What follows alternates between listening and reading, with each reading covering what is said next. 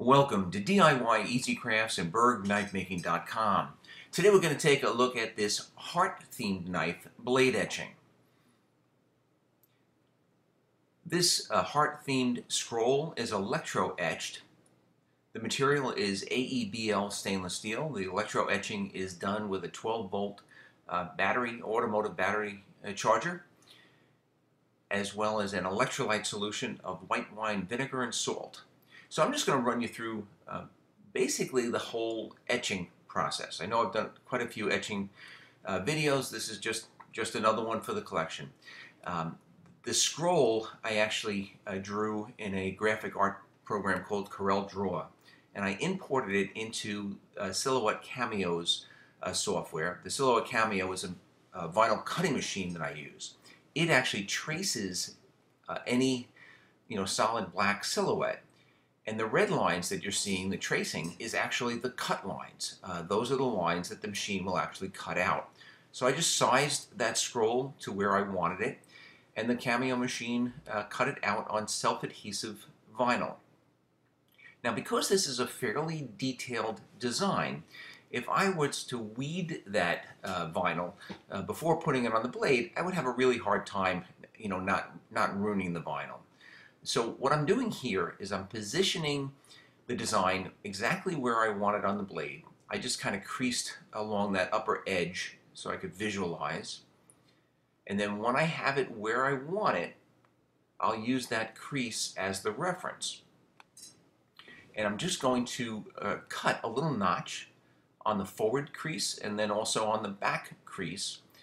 And those will be my registration marks. Those will be the marks that, that help me to position this uh, vinyl exactly on the knife where I want it. Now I'm going to use a clear transfer film. Um, I've applied that to the vinyl. I actually just use a clear contact paper from the local hardware store. Then I peel the back, uh, um, you know, white paper. So now the vinyl is adhesive. You can see the two registration marks there.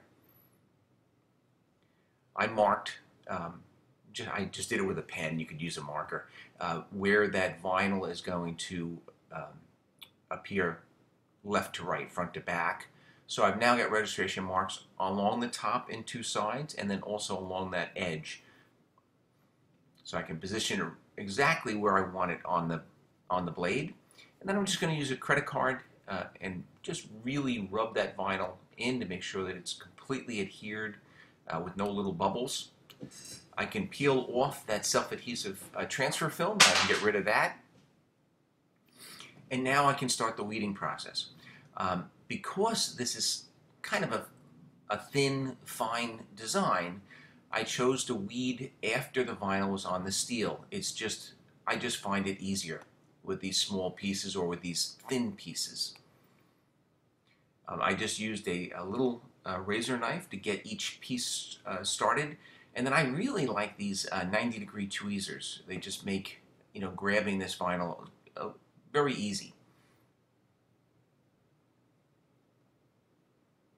And if you've never done uh, metal etching before, uh, basically that everything that's covered with the vinyl is not going to get etched and everything that's exposed is going to get electro etched. So now that I've completely weeded the area that I want to etch, I'm now going to um, protect the rest of the blade. I'm going to put some additional vinyl um, you know, on any exposed uh, steel, you know, behind, uh, below, and in front. And I'm actually also going to cover the entire back of the blade. Uh, the purpose of this is when I'm when it's sitting on a wet piece of wood that that has electrolyte solution it, I don't want any uh, electricity going through that and and etching the wrong side of the blade. The electrolyte solution that I have is just white wine vinegar with some salt. Now people ask me, you know, how much salt exactly do you add uh, to the electrolyte solution? I don't have an answer. I just pour a whole bunch of salt in. Um, this is my electric uh, electroplate. It's just a flat piece of steel and I've welded on a piece of tubing to act as the handle. And I actually screwed on a piece of wood on top of that. Um, that tubing has a, a, tapped hole in it for the electrical cord. This is my 12 volt automotive battery charger. The positive lead just gets clipped onto the handle. The negative lead um, is screwed right onto that electroplate.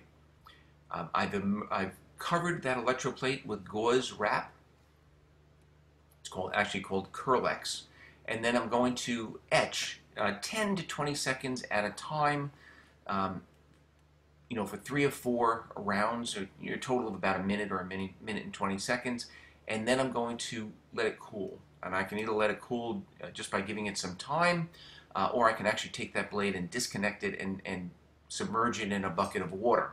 Uh, either way, you don't want that blade to get so hot that the self-adhesive vinyl would lose its adhesion, because then you would, you know, you wouldn't end up nice, clean, crisp etching lines.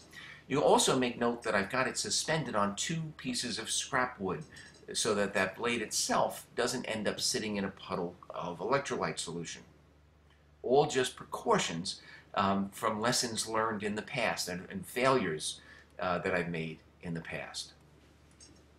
So again, you want to etch this uh, probably for three to four minutes, and this is again 12 volts, 2 amps. You want to do it in 20 second increments at the max, letting it cool a little bit in between each, and then after every, every minute or so, really cool down that blade by submerging it in cold, in cold water.